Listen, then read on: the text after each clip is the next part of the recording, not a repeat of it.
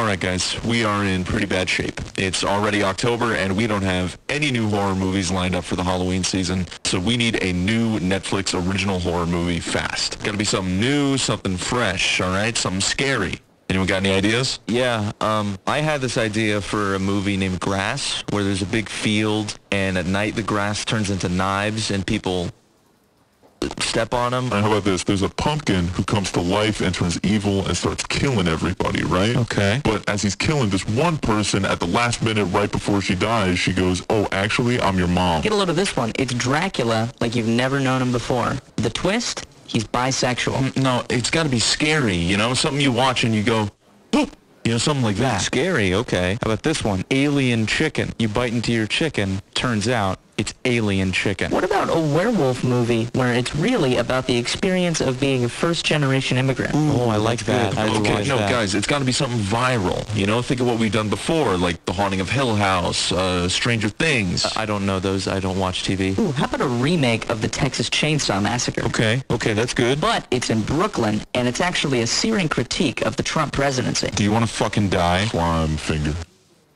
What? What'd you say? Slime finger. What is that? What's slime finger? That's my character. Slime finger. Okay, well, what's his deal? What's slime finger do? Well, he's green. And, um...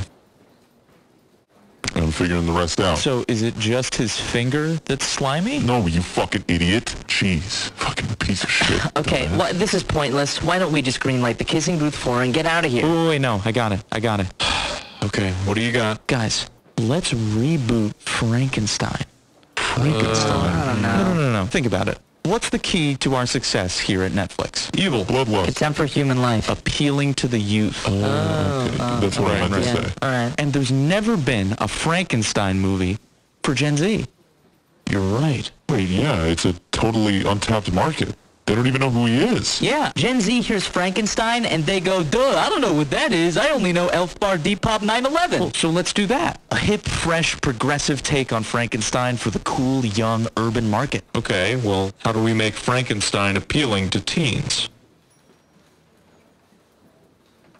We make him a rapper. Yes! Yes! Yeah, right?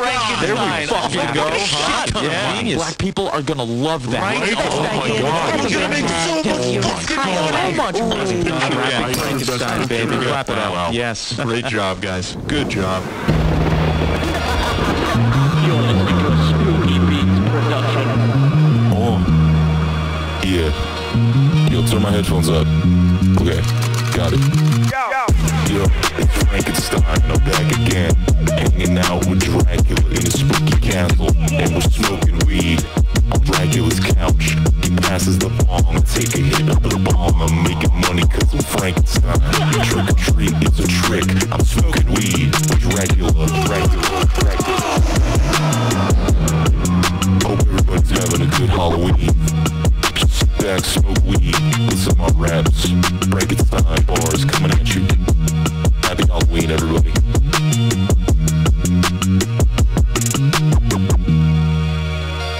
Música